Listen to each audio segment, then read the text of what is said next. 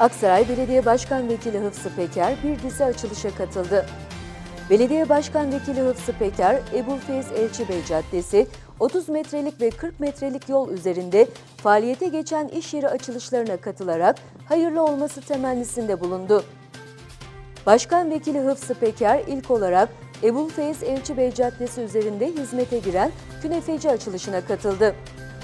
İşletme sahipleri Burak ve Kadir Güneş'in ev sahipliğini yaptığı açılışa çok sayıda protokol üyesi ve davetli de eşlik etti.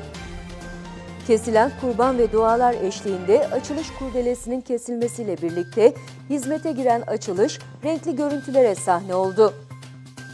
Belediye Başkan Vekili Hıfzı Peker daha sonra sırasıyla 30 metrelik ve 40 metrelik yol üzerinde mobilya, ev aksesuarı ve avize sektöründe faaliyet göstermek üzere hizmete giren iş yerlerinin açılışını yaptı.